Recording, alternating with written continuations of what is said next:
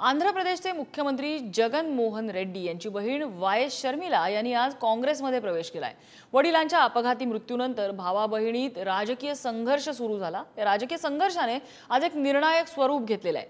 शर्मिला यांच्या काँग्रेस प्रवेशामागे काय गणितं आहेत आणि त्याचा आगामी लोकसभा निवडणुकीवर कसा परिणाम होऊ शकतो? बघूया.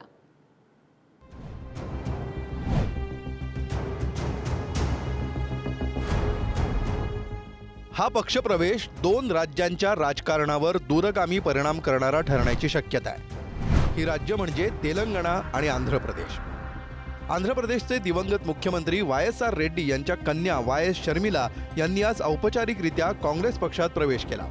आपला Y S R Telangana Congress हा पक्षही त्यांनी काँग्रेसमध्ये विलीन केला.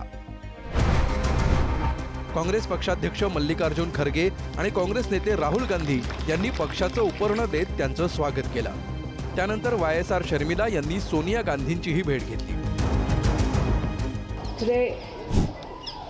I am very happy to be merging Y S R Telangana party into the Congress party It gives me immense joy that the YSR Telangana party is going to be a part of the Indian National Congress from today onward. Y S Sharmila यांचा काँग्रेस पक्षप्रवेशापर्यंतचा प्रवास लक्षणीय दोन September दोन हजार नऊ या दिवशी आंध्र प्रदेशचे तत्कालीन मुख्यमंत्री वाय एस राजशेखर रेड्डी यांचा हेलिकॉप्टर अपघातात दुर्दैवी मृत्यू झाला त्यानंतर त्यांचे राजकीय वारसदार म्हणून मुलगा वाय एस जगनमोहन रेड्डी यांच्याकडे पाहिलं जात होतं. त्याचवेळी वाय एस शर्मिला यांच्या राजकीय आकांक्षाही पल्लवित होत होत्या. दोन हजार एकवीस पर्यंत हे भाऊ बहीण एकत्र होते. दोन हजार एकवीस साली वाय एस जगनमोहन रेड्डी आणि वाय एस शर्मिला यांचा वाद टोकाला गेला. वाय एस जगनमोहन यांच्या वाय एस आर काँग्रेसमधून बाहेर पडून त्यांनी स्वतःचा वेगळा पक्ष स्थापन केला. Y S R Telangana Congress पक्ष असं या पक्षाचं नाव. वाय एस जगनमोहन रेड्डी आंध्र प्रदेशात आपलं बस्तान बसवत होते. तर वाय एस शर्मिला तेलंगणामध्ये पक्षाचा पाया मजबूत करण्यात गुंतल्या होत्या. दोन हजार तेवीसच्या तेलंगणा विधानसभेत त्यांनी काँग्रेसला पाठिंबा दिला होता. त्यामुळं मतांचं विभाजन टळून काँग्रेसला सत्ता मिळाल्याची चर्चा आहे.